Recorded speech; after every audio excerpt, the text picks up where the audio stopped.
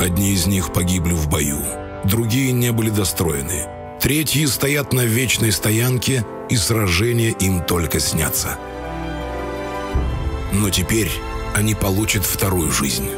Мы воссоздаем корабли по историческим чертежам и отправляем их в бой. World of Warships. Сухой док.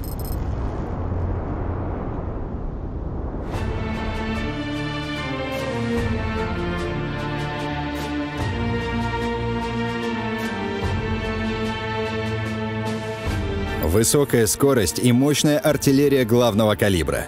Таким должен был стать первый итальянский тяжелый крейсер, спроектированный в рамках условий договора по ограничению морских вооружений. Вашингтонское морское соглашение 1922 года установило для крейсеров максимальное стандартное водоизмещение в 10 тысяч тонн и калибр артиллерии в 203 миллиметра. А разумеется, все великие державы немедленно принялись за создание новых кораблей с характеристиками именно по этому самому верхнему разрешенному пределу. Так, во Франции спустя лишь несколько месяцев после подписания договора было выдано задание на проектирование первых двух таких крейсеров типа «Дюкень». Поскольку же после Первой мировой войны именно французский флот стал основным вероятным противником итальянского, Сапинин последовал немедленный ответ –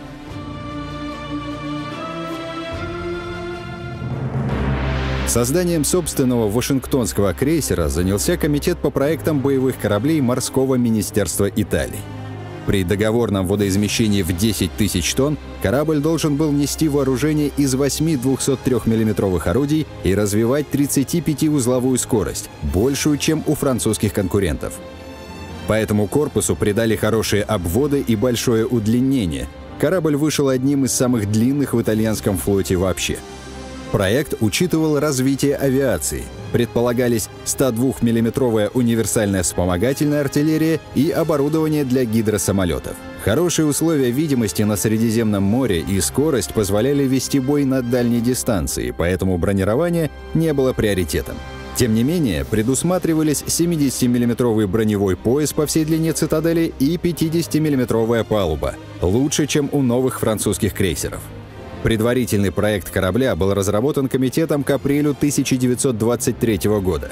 После рассмотрения в министерстве работа продолжилась, что в итоге привело к закладке тяжелых крейсеров типа «Тренто».